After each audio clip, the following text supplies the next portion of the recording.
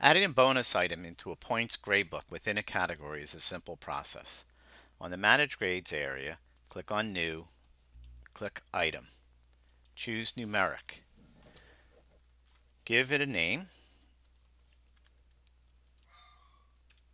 Oops. Quiz. Choose the category you want to place this in. Choose the maximum number of points, keeping in mind that this is exactly how many more bonus points that they can get. Checkbox can exceed and bonus. Then click Save and Close.